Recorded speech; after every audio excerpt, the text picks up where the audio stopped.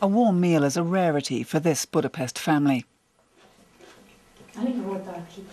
Debts of some 40,000 euros mean they have had to move into a relative's apartment. But even then, they struggle to meet the rent payments.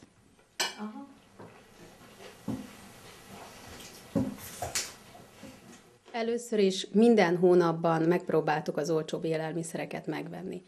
We save on food, but I still try and give children the best.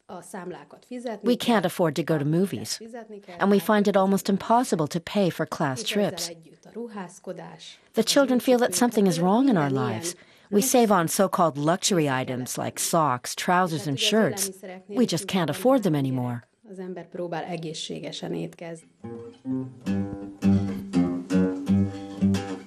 Zoltan Hanko is a freelance music teacher. His wife is unemployed. Years ago, they took out a loan with an Austrian bank, not in their own currency, but in Swiss francs. The value of the Swiss franc has since risen steeply, and the family's debt has doubled as a result.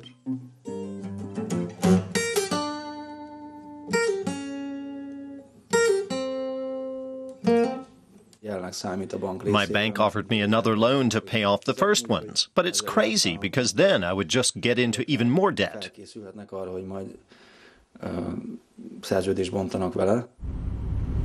Buying a house on this street was what put the family in debt. A loan in Swiss francs enabled them to get it at a reasonable price. The little rent they get from it helps pay off part of the loan. Selling the house is not an option now because of low real estate prices. In an effort to help the 800,000 people saddled with foreign currency debt out of trouble, the Hungarian government, under Prime Minister Viktor Orban, has implemented a new law.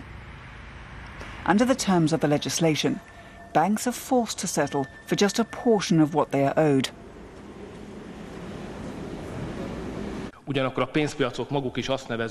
International finance experts all repeatedly tell us that our population's foreign currency loans are one of the biggest problems in our country and that they're dangerous for our budget. We hope this law will be a solution and will liberate families from the misery of debt. The banks across the border in Austria take a different view of the situation.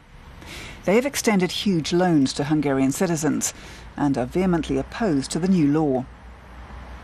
But nobody here wants to speak on camera.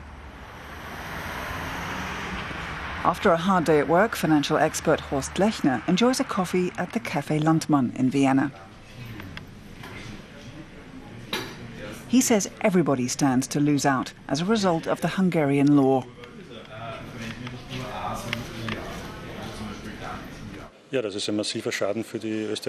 It implies massive losses for Austrian banks and for the shareholders, who, based on current estimates, will have to cover a shortfall of around a billion euros. And it is a huge problem for Hungary as well, because it is expropriation. There's no legal security, and who's going to invest money within Hungary if they have to reckon with laws like that? And that is a very real problem. The new law has already put international investors off the idea of investing in Hungary. And that in turn has been causing the Hungarian forint to lose value over the past few weeks. For Zoltan Hanko and his family, the situation just keeps getting worse.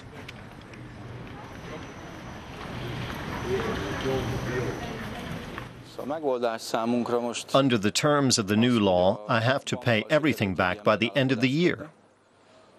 That's not possible.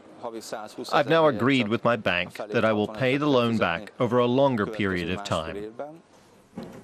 What that means is that the credit will not run for just five years, but for 20. As a result, the monthly installments will be less, but the family will have to remain cautious about their expenses for a long time to come. English